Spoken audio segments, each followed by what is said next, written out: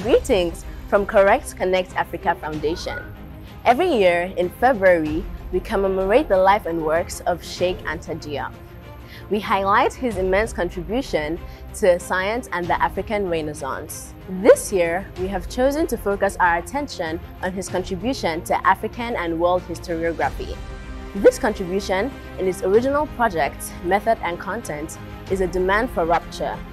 A rupture achieved through intellectual rigor and scientific honesty. A rupture that exposes the malevolence and false propaganda of colonial historiography and inaugurates its rejection. Now, together, let us go through the content of Diop's contribution in three main points. 1. Some aspects of Cheikh Anta contribution. A. An exclusively scientific approach. According to Cheikh Diop, knowledge of one's true past constitutes the most important fact in every people's relationship to their history.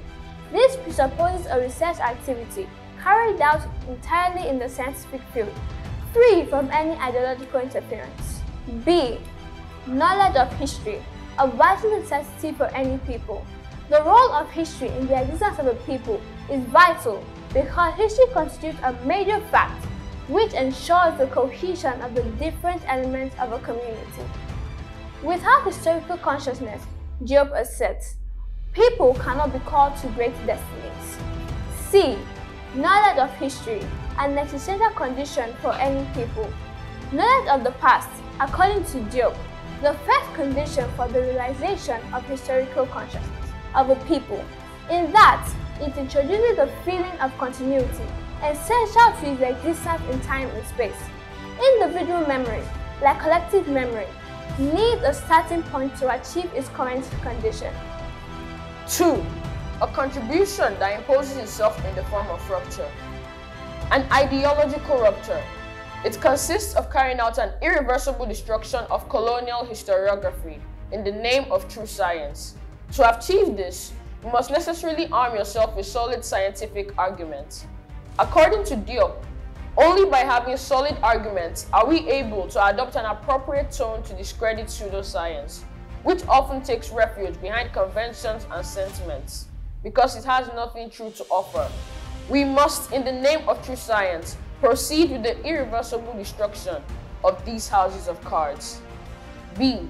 An epistemological rupture it aims to restore African historical consciousness in the field of world historiography. This requires that we adorn ourselves with the mantle of science to enable the Negro question and refute the belief that he has never been responsible for anything of value in the history of humanity. Diop summarizes this rupture in two principles. Historical continuity as a basic principle in reading the African past. This principle finds its basis in the field of research through the demonstration of the cultural kinship linking sub-Saharan Negro African civilizations to Egyptian and Ethiopian antiquities.